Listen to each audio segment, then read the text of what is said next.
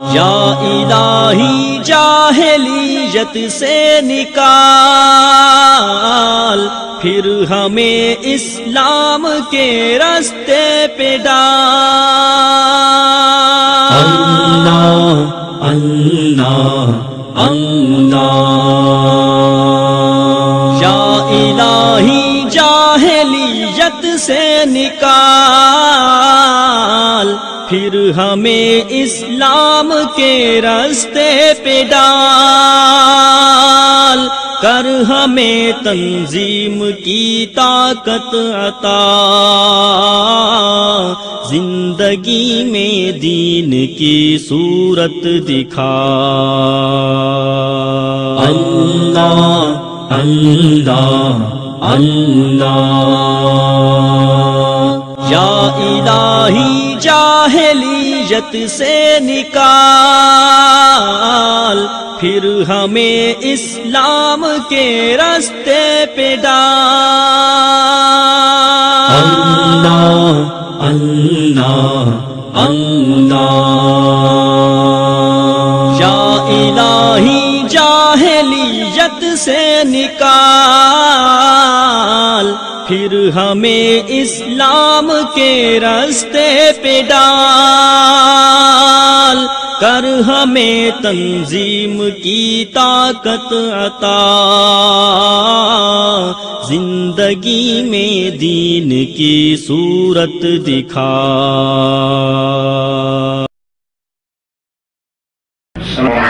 Thank you.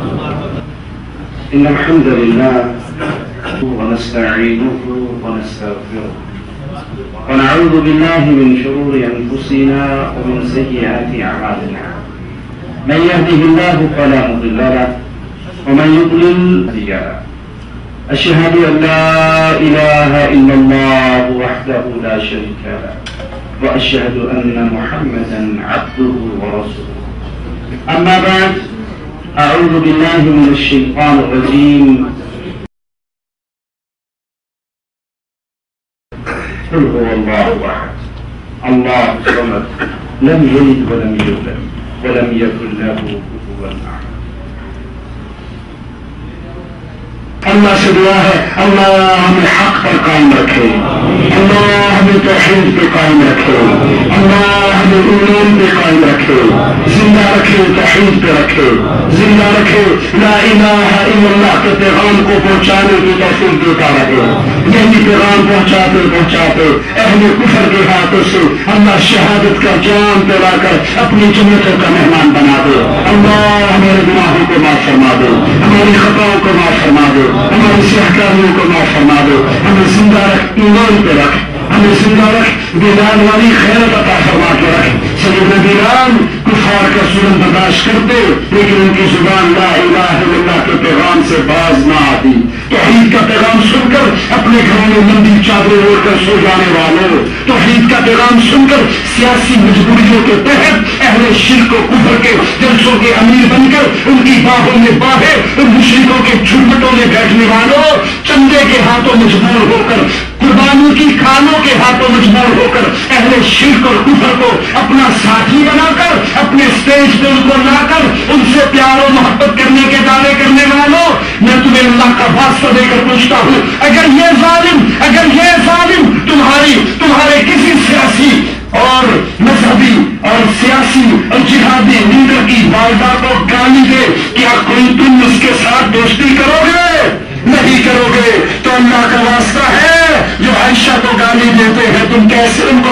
अपने stage आते हो। अपनी माँ के दुश्मन से दोस्ती न करने वालों, उसको वोट न देने वालों, उससे सियासी इतिहाद न करने वालों, अबू बकर, उमर, उस्मान के ईमान के इनकार करने वाले को कैसे बेटी का रिश्ता दे देते हो?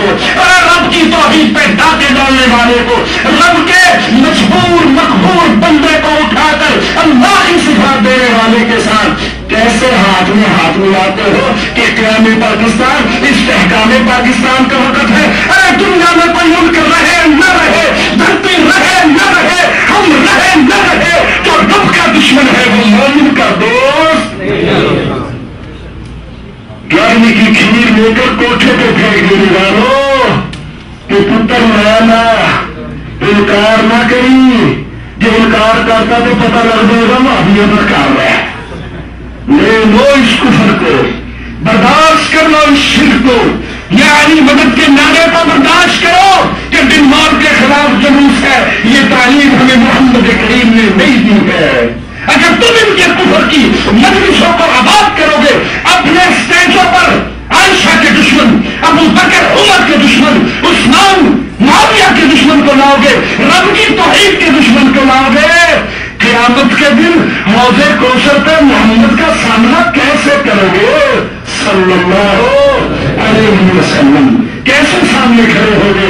तुम तो मेरे नबी की अजवाज के दुश्मनों को सीने से लगाते रहे कि हालात का तकाजा है। अरे हालात कैसे भी हो, इतने बुरे तो नहीं हुए जितने इब्राहिम के लिए थे। बाप भी दुश्मन था, कौन भी दुश्मन थी? बादशाह भी दुश्मन था, सारे ही दुश्मन थे। तंजरीक में डाल के आग में फेंक रहे थे। जिब्राइल आए थे, कहा था, जिब्राइल हूँ, बादलों का हिस्सा भी है। क्या ख्याल है? कोई हाजत, कोई ज़रूरत, कोई तलब? सैदना इब्राहिम, इमाम मुलाहदीन ने कहा था, जिब्राइल, हाजत तो है, ज़रूरत तो है, तलब तो है। इब्राहिम, हाजत तुझसे नहीं है। जिब्राइल हाजत तुझसे नहीं है, तेरे रब से है। बेटी का रिश्ता ना आए ना आए। बूढ़ी हो के घर में मर जाए। मंजूर है। रब की तोहीद के दुश्मन को बेटी का निकाह देना मंजूर ना आए। बहन बूढ़ी हो जाए। सर सफ़ेद हो जाए। कमाई घर में मर जाए। मंजूर है। लेकिन आयशा पर तहमत लगाने वाले को बेटी का रिश्ता देना मंजूर। अबू बकर उमर उस्मान और मारिया के ईमान का इनकार करने वाले को अपनी बहन का रिश्ता देना मंजूर। अगर गैर ईमान की है, पास मोहब्बत का है, पास साहबा का है तो रब का वास्ता है। इतने नंगे तो हो जाओ अपने अकीदे में, जितना कुफर अपने कुफर में नंगा हो चुका है। वो अली को अल्लाह कहने में शर्म महसूस नहीं करता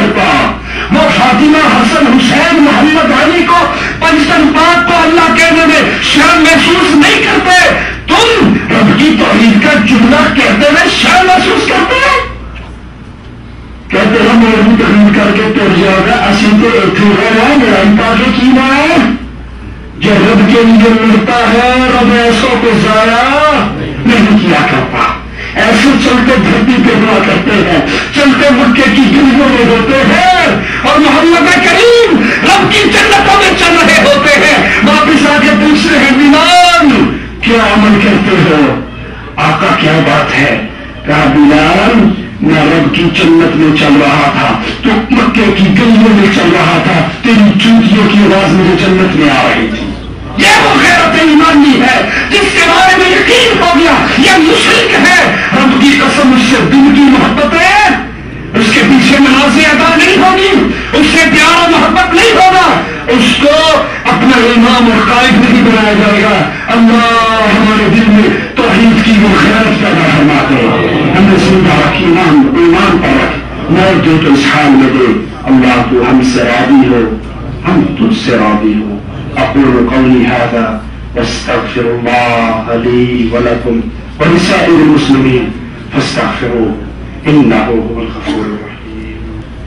भाई ने सवाल किया है कि जब हम किसी को दावत देते हैं वो कहते हैं आपके कुरान का तर्जुमा गलत है उनकी ये बात गलत है उन्हें कहिए कि कुरान पाक की कोई एक आयत पेश कीजिए।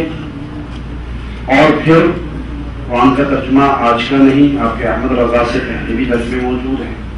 उन तर्जुमों को ले आइए लोगत के अतबार से देख लीजिए मुफसरीन के अतबार से देख लीजिए। आप किसी एक आयत पर उंगली नहीं कर सकते कि मुजम्मा मलिक फाहद से सऊदी हुकूमत का से निगरानी जो कुरान पाक उर्दू में और बाकी जुबानों में छप रहा है। इसके अंदर तर्जुमे में ये गलती है, एक आयत पेश कर दीजिए अल्लाह हाजिम हरमैन शरीफ हैं तो जजाय खैर दे, जिसकी कोशिशों से अल्लाह की किताब मुख्तलिफ़ जुबानों में तर्जुमा होकर लोगों तक एक आयत पेश कर दीजिए और फिर वो अपनी किताब से आपके अपने तर्जुमे से पेश कर दीजिए। हमारे सामने लाइए कि आपने ये तर्जुमा किया है और फलाह हज़रत ने ये तर्जुमा किया है। डंडी मारने वाले जब तफसीर करते हैं, उसमें डंडी मारते हैं। तर्जुमा तकरीबन तकरीबन ठीक करते हैं या ब्रैकेट लगाकर अपनी मर्ज़ी की बात मारते हैं। वो चीज़ बयान करते हैं जो उसके अंदर मौजूद नहीं है। साइल कहता है अलिया की क्या पहचान है? अलिया दो तरह के होते हैं। एक अलिया अल्लाह, रब के वली, एक शैतान के वली। रब के वली की पहली पहचान ये है कि वो मुवाहिद होता है। मुश्रिक रब का वली नहीं। वलील्ला की पहली दूसरी पहचान ये है कि वलील्ला मोहम्मद करीम वसल्लम की सुन्नत पे चलने वाला होता है, सुन्नत का तारीख नहीं होता। शैतान के वली की पहली पहचान क्या है? कि वो अल्लाह की इबादत करने वाला होता है, कब्रों पे सजदे करने वाला होता है, कब्रों का तबाफ करने वाला होता है अल्लाह की तरफ़ दावत देने वाला होता है। और भी कई निशानियाँ हैं। अलिया शैतान की कई निशानियाँ हैं। बच्चों नंगा भी होता है। सर भी नंगा होता है, जिसम भी नंगा होता है पाँव भी नंगा होता है। इंडिया पाकिस्तान की सड़कों पर चल रहा होता है, जिसके पीछे पीछे लोग हाथ बाँध के जा रहे होते हैं। और उनसे पूछो, शादी नंगे क्यों ने चुप ऊँची सरकार ने। हम भी मानते हैं ऊँची सरकार है मौत का एक ही धक्का लगेगा, पहुँच जाएगा जो इसका मकान है। वहाबी कौन है? क्या सऊदी वहाबी है? बोलिए आ चुप करो। क्या वहाबी सऊदी जो है वो वहाबी है मोहम्मद बिन अब्दुल वहाब ने नाजी करीब के अंदर अल्लाह की तोहीद की आवाज़ें को बुलंद किया। वो अमल किया, जो अमल रसूल वसल्लम की सुन्नत से साबित। सैदना मोहम्मद करीम वसल्लम ने हज़रत अली को भेजा और तमाम पक्की कपड़ों को तुड़वाया ऊँची कपड़ों को ज़मीन से मिलवाया, एक बारिश छोड़कर। जब मोहम्मद वहाब रहमत को अल्लाह ने हुकूमत दी मोहम्मद बिन सऊद के साथ मिले और इस बात सरजमीन पर तोहीद का राज हुआ। उन्होंने वही अमल किया जिस अमल की तालीम रसूलुल्लाह सल्लल्लाहु अलैहि वसल्लम ने सैदना अली को और सैदना अली ने अपने दामाद को की थी। कुफार को डर है तो उन्हीं लोगों से जो सच्चे इस्लाम पे चलने वाले हैं। तो उस वक्त फिर अंग्रेज़ों ने एक लफ्ज मशहूर कर दिया, लोगों को नफरत दिलवाने के लिए कि ये वहाबी है, इनकी बात ना सुनना। ये वहाबी है उनकी बात ना सुनना। वहाब किसका नाम है? वहाबी कौन है? अल्लाह को मानने वाला उन्होंने गाली देना चाहिए लेकिन वो गाली गाली नहीं कही हम कोई फिरका नहीं है, हम कोई गिरोह नहीं है कि हमारी तालीमत वो मोहम्मद वहाब की तालीमत है, हमारी तालीमत मोहम्मद रसूल की तालीमत पे हम चलते हैं, उन्हीं की तरफ़ लोगों को बुलाते हैं। हमारा कोई एक मसला अगर बताया जाए कि ये कुरान हदीस के खिलाफ है। सुबह का सूरज बाद में तभी होगा उससे रजू पहले कर लेंगे। बड़े शरीर के अहल सुन्नत के बारे में आप क्या जानते हैं? बड़े शरीर में अहल सुन्नत अहल बिदत का नाम है। इंडिया, पाकिस्तान में जो बिदती और अहल शिरक हैं, उन्होंने अपना नाम अहल सुन्नत रखा हुआ है। वो कब्रों का तबाफ कर रहे हैं और अहल सुन्नत हो रहे हैं। कब्रों के सजदे भी कर रहे हैं और अपने आप को अहल सुन्नत भी करार दे रहे हैं। वो नक्शबंदी, चिश्ती, कादरी रिजवी सूफी अकीदों में भी चल रहे हैं और अपने आप को अहल सुन्नत भी कह रहे हैं। अहल सुन्नत कुमान का सुक्का रोड पाते हो, सुन्नत हजूर दिया सारी छपी जाते हो। तो ये अहल सुन्नत नहीं है, ये अहल शिरक है, ये अहल बिदत है, ये हलूली है, ये सूफी है, ये वजूदी है, ये मातुरीदी है, ये अशाई है। ये कतन अहल सुन्नत नहीं है। अहल सुन्नत जो असल में अहल हदीस हुआ करते हैं। अहल सुन्नत अहल हदीस हुआ करते हैं। अहल सुन्नत मातुरीदी नहीं होता। अहल सुन्नत नशबती चिश्ती कादी सिलसिलों पर चढ़कर फना शेख फना रसूल, फिर फना फिल्ला का ऐलान नहीं करता। ये तमाम अकीद कुरान हदीस के खिलाफ है और ये अहल सुन्नत हकीकत में अहल बिदत है। अहल तसव्वुफ और आगा खानियों के अकीदे में क्या फ़र्क है? आपने सुन लिया कि आगा खानी अली को अली को अल्लाह कहते हैं। और वादतुल वजूद के अकीदे रखने वाले उससे गंदा अकीदा रखते हैं जो आना खानियों का है।